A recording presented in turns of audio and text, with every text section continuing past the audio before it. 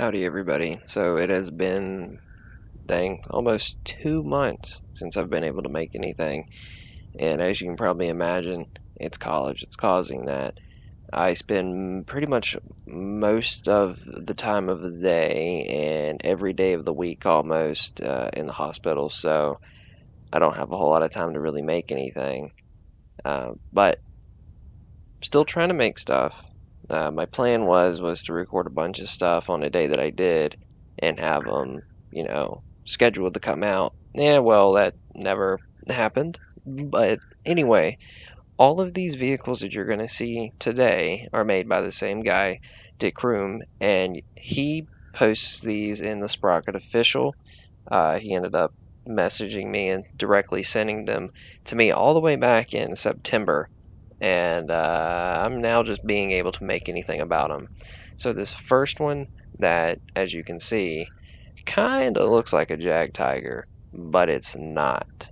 It is based off of a Panther 2 hull, and he takes a 115 millimeter gun, and it looks really nice. So before I pull up the the, UI and everything, you just go around. It looks like a little bit shorter version of a jag tiger. And now, if you didn't know that, you would probably assume that it is a jag tiger. I did at first until I realized that it says Jag Panther 2. Um, so obviously it's not. anyway, uh, he put a lot of detail into this vehicle and it looks really nice. This right here, I love that. I, I don't know what it is about it, but it, I and it just looks really, really, really good. Uh, even the gum mantlet, um, everything. So I'll just read you what he put in the post on Discord. This big cat is another addition to my fictional line of late war machines. The Jag Panther 2G utilizes the modified Panther 2 hull used on the Sturmmotorwagen MIT 25 centimeter Sturm Panther with minor internal changes plus light increase to the frontal and side armor. Additional changes were the complete removal of the Sturm Panther casemate and replaced of a new superstructure to hold the 115 mm or 11.5 centimeter pack cannon. Further changes are the reinstallment of the Hull MG, updated antenna systems for the Radio Man, and a rework of the cooling system and isolated engine refit. So, without further ado, let's look at some of the other stuff. So now this gun, being a 150 millimeter, we get 200 millimeters of pin and a pretty good velocity. Let's see how fast it is though. You know, it's actually kind of, well, it is on a Panther too, so I, yeah, that makes sense for it to be actually pretty maneuverable. Honestly, wait, let's see what the gun sounds like. Oh, I like it. Let's see how far it can aim down. Pretty far. How far do we get traverse on this left? That's not bad. Cool. Really good velocity. So let's put it up against some stuff. But actually, before that, let's see the armor. Jesus. Yeah not much stuff going to get through that. What's the side? 98, 60, 40, 82. Okay. Alright, so I'm assuming something that would make sense for it to fight being a late war vehicle. Let's go with IS-3. Even though we should be able to get a, a lot better IS-3 nowadays that's something that I would like for someone to make along with I figured that was gonna happen. Where did he hit me? You know that's probably one of those ricochets that I'm never gonna find that still ends up killing me. Let's pick something else. That is something that I would like someone to make would be an IS-3 okay I figured that was gonna happen shooting in the lower plate I didn't figure it was gonna cause any problems. See if I can go through the upper plate. Nah, 11 second reload though. Let's see if she'll, how like she likes turning. Not too well, but it is what it is. The suspension looks cool doing that. Alright, the big ones. Oh, it didn't want to do it there for a second. It's handling it just fine. It kind of it takes off too. All right. Well, there is the Jag Panther 2G with the 115 millimeter gun. And let's move on to his next tank that he has sent me. So I figured it would have made sense since the last vehicle was built off of this thing's hull. So this is why I picked this one. So this is the Sturmosauragin mid 25 centimeter Sturm Panther. So the baby brother to the Sturm Tiger, which is really convenient that I, you know, ended up making this when I did, and he has a Sturm Panther because in War Thunder, the Sturm Tiger is now in the game, and I am planning on making stuff for that game uh, soon, and I'm going to be doing the Sturm Tiger when I get it, which is going to be by the end of this week. So, anyway, let's take a look at this. So, as you can see, very close similarities to the Sturm or not, well, to the Sturm Panther and the previous um, tank we were looking at, Jack Panther, because as you can see, the engine deck looks similar, not quite the same, because he did change some stuff, but look at all the detail that's in this. You know, he used these as if they were like, they would grab onto the shell to maneuver it. The crane looks really nice.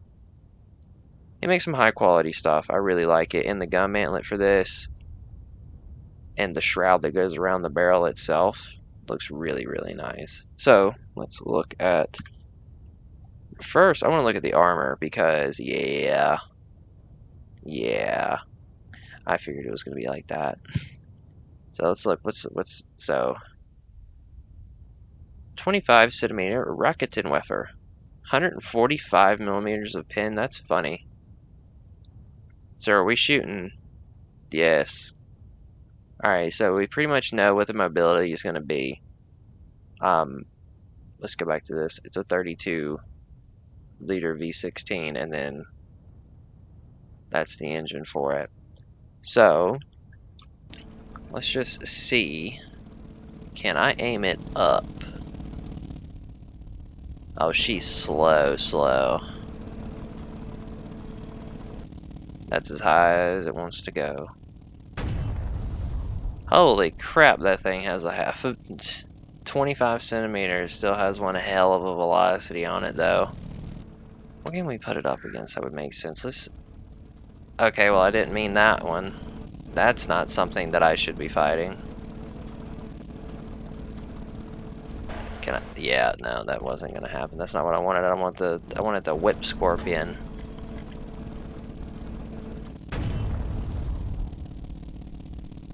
I hit it somewhere. Let's see how she moves. Still pretty, pretty well, actually.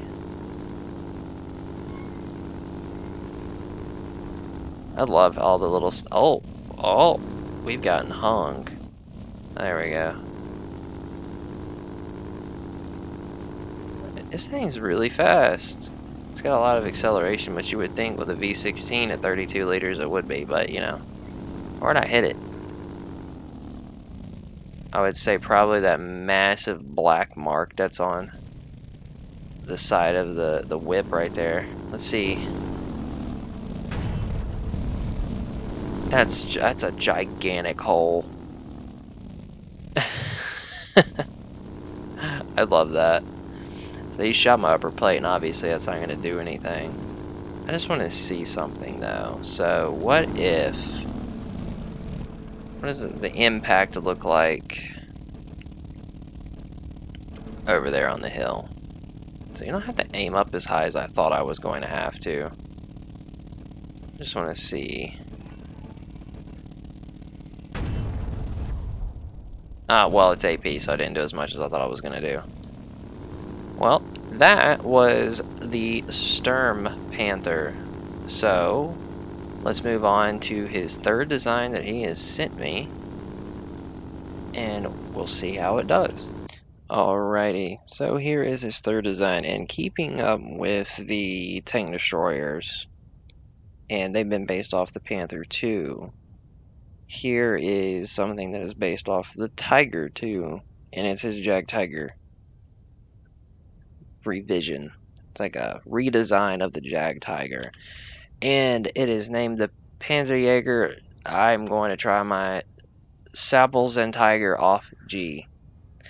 So, roughly, you know, you can tell Jag Tiger when you look at it. Let's do let's do this so it will move it back. Alright, so as you can see, if you look at the side, you can see Tiger 2. Like you could you can definitely tell. And there's a little bit of stuff that has been changed on it. And since it is so close, I'll tell you what he said. This 90.85 ton heavy tank destroyer uses the same 12.8 centimeter cannon, bar only minor changes being length and an addition of a muzzle brake. The other changes are as follows frontal armor changed to be more sloped and thicker, 260 millimeters. Side armor changed from 80 to 90. Lower hull remains the same thickness. Engine modifications were made to support the increased weight of the vehicle. It is now 14 cylinders, 1.92 displacement, 1990 newton meters of torque, max RPM 3700, and its top speed is 26 miles an hour. Fuel is separated into two, one internal and the other external barrel located on the rear. Minor transmission changes, main one being an addition of two extra reverse gears, multiple hatches for the ease of access and restocking of munitions, an additional 50 cal equivalent coaxial machine gun, non-functional as you can see, this little thing right here. And the antenna was relocated onto this casemate superstructure right there. So, take your Jag Tiger, and then everything you know about it, and this one's better. But as you can see, obviously keeping up with the other two in terms of quality, it looks really, really nice. All the little details on the engine deck. I really like this. Like I, I don't know I don't know what it is about it, but I do. The exhaust looks really nice. And then, you know, the paint job and everything like that. So let's Oh, you can turn these faster than I thought it was going to. to be 90 tons, but Oh, oh, I like that, having it at the bottom, or the barrel at the bottom of the sight like that. It looks really nice. I was thinking scoot. What's the gun sound like?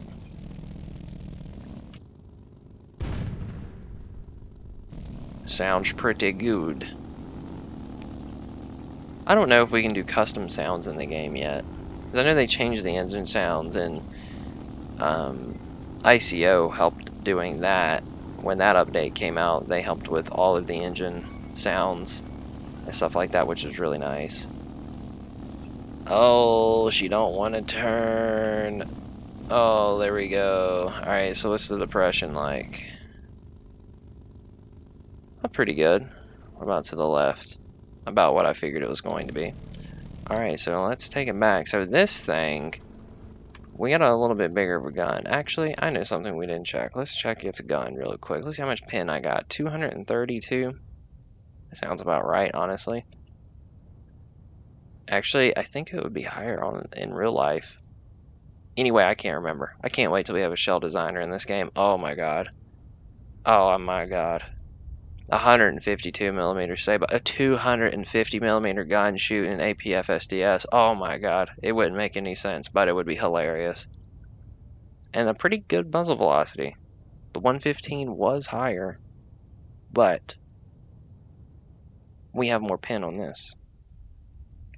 Alright, so now, now, since we are in something a little bit more higher end let's test it against this old IS-3. Oh boy.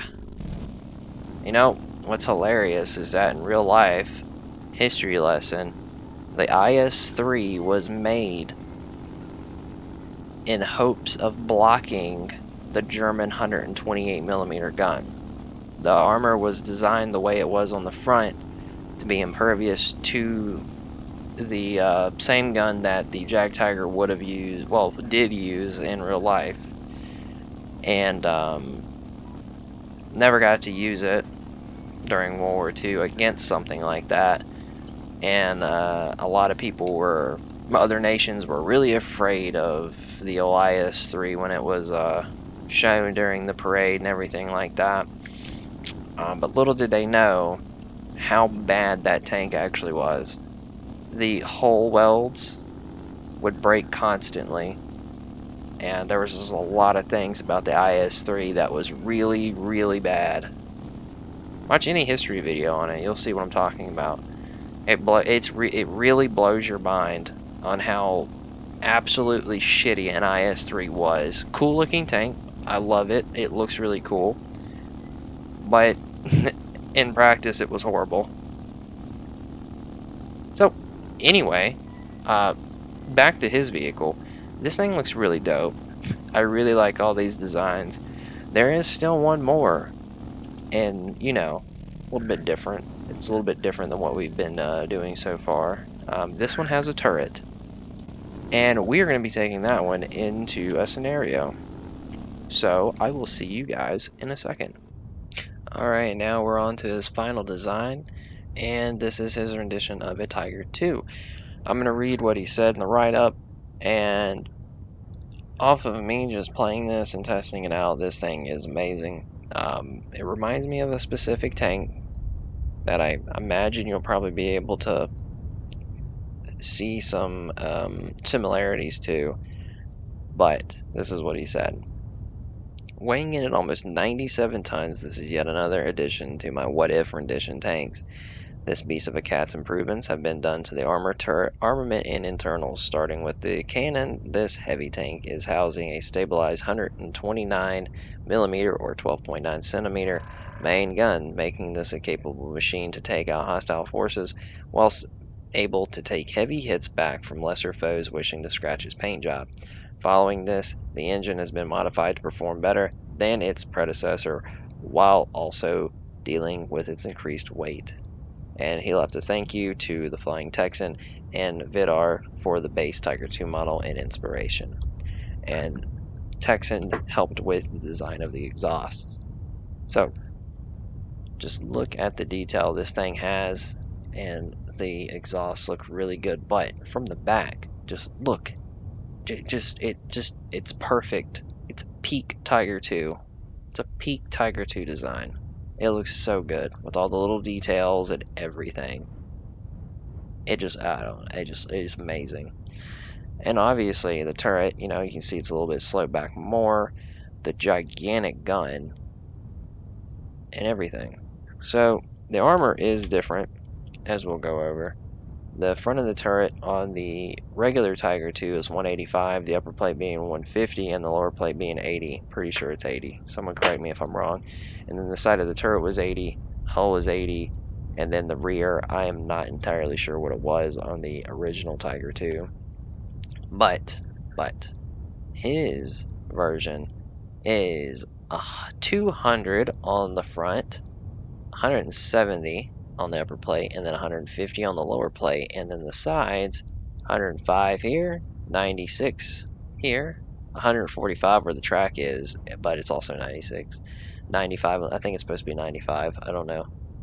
Well 96 95 here and then 80 here and then 85 or 86 and then 88 so let's look at the firepower cannon 129 millimeter gun with 228 pin and a very high muzzle velocity. The engine being a 32 cylinder V15. That is such a weird number. Interesting. I have never just trying to process how that engine would look or work. Hmm. Well, I guess the only thing we can do is to take it out on fields as we do with every episode and see how she does. But just look how perfect that looks. I can't get over it. I just love the look of a Tiger 2. And Decrum, what I'm saying here is that your tank has a nice ass. And I'm going to continue to stare at it, and there is nothing that you're going to do about it. well, let's get up here. I'm really not worried about getting pinned by absolutely anything. And if you haven't figured it out yet, I I feel like this is an even better E75. And obviously, if you play World of Tanks, you know what the E75 is because it had a 128 millimeter gun and it was like a Tiger 2 but stronger. This is like a E75 but also stronger stabilizer and all that and it's a whole lot faster. The E75 is so damn slow. Alright, and it's stabilized. I think I already said that. That was easy. Oh, there they are. The reload's not that bad either. I hope they don't hit my track. If they hit my track, it's over. Alright. I'm gonna keep moving to hopefully have them not hit my track.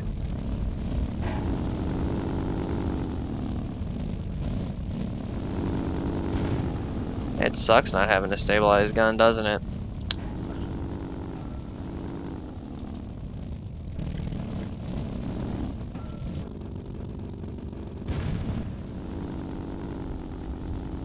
I don't know what he is shooting at, but it obviously ain't me.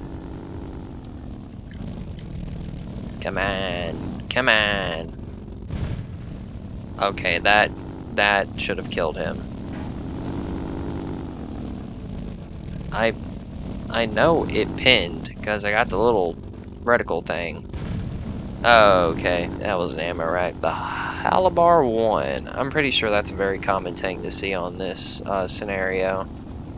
Now, when I was testing this, I fought Togs. Let's hope we fight Togs again. Oh, I can see them. Let's try to take a shot from back here. Oh, it's not Togs.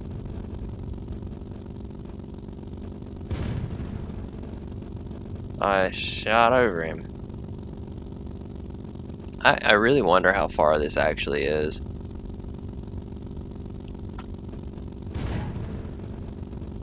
Oh, I bounced it off the ground. Oh my god, they tracked me. Son of a bitch.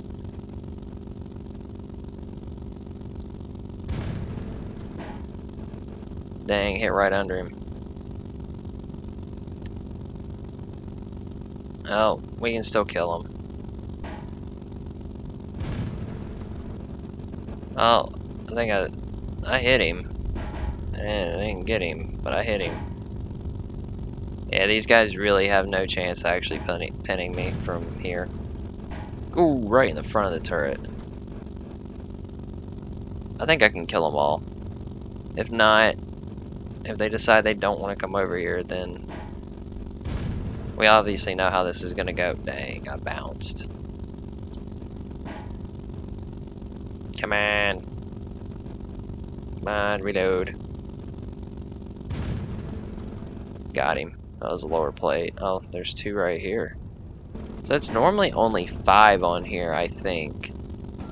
Yeah, they're not going to pin me. That's six of them, because those three got killed, and then there's these three. Okay. What's the side of my tank look like? That looks that looks cool. yeah, they're not gonna get through me.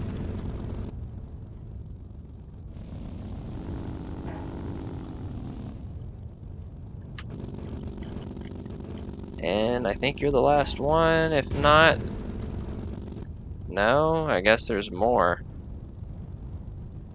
Well, I obviously cannot go hunt them down because reasons that might not be apparent at first, but uh, I can't move. But look how many times I got shot. That's insane. Oh, no, somebody shot. I saw the round. Oh, he's right there.